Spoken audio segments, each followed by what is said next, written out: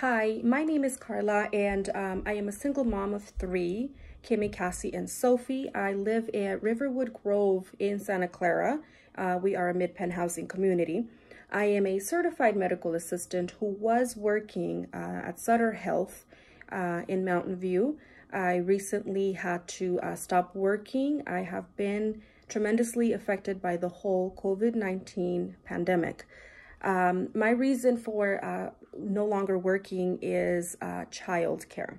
As I mentioned, I am a single mother of three, and I have had no success in um, finding assistance for someone to watch my children while I attend work.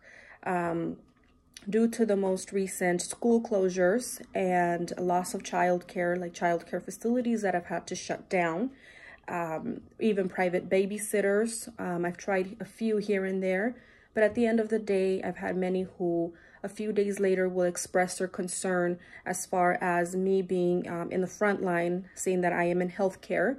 Um, we do or we have had a few patients, COVID-19 with, with, coronavirus tested positive and my exposure to this uh, virus is extremely, it's evident and it's very high. Uh, therefore, I've had to stop working because I cannot find anybody to help me with my children. I am not receiving any income. Um, I am now trying to stay afloat um, to finance me, but I am definitely struggling with that. Um, my own family members have had to self-quarantine themselves, and I have no help from them as well.